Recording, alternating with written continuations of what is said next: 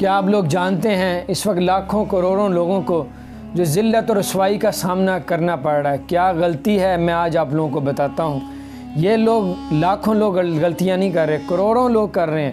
جس شخص کو جبرائیل علیہ السلام بدعا دیں وہ کبھی کامیاب ہو سکتا ہے۔ جبرائیل علیہ السلام تمام ملائکہ فرشتوں کے سردار ہیں۔ انہوں نے بدعا دی اور نبی پاک صلی اللہ علیہ وآلہ وسلم تمام نبیوں کے سردار ہیں۔ اور آپ نے اس پہ آمین کہا۔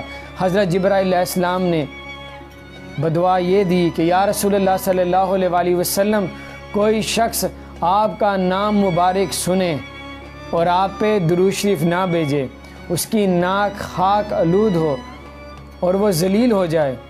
نبی پاک صلی اللہ علیہ وآلہ وسلم نے اس پہ آمین کہا۔ لوگوں، نبی پاک صلی اللہ علیہ وآلہ وسلم کا نام سنو تو نبی پاک صلی اللہ علیہ وسلم پہ درو شریف ضرور بھیجا کریں۔ چاہے کوئی چھوٹا بچہ نبی پاک صلی اللہ علیہ وسلم کا نام لے یا بڑا لے یا کسی بیان میں نام لیا جائے، ناز شریف میں لیا جائے، قرآن پاک میں آئے، کسی اذان میں اذان میں نبی پاک صلی اللہ علیہ وسلم کا نام مبارک لیا جاتا ہے۔ تو اگر آپ لوگوں کے کان میں نبی پاک صلی اللہ علیہ وسلم کے نام مبارک یا نبی پاک صلی اللہ علیہ وسلم کی بات مبارک پہنچے تو نبی پاک صلی اللہ علیہ وآلہ وسلم پہ درود شریف بھیجا کریں۔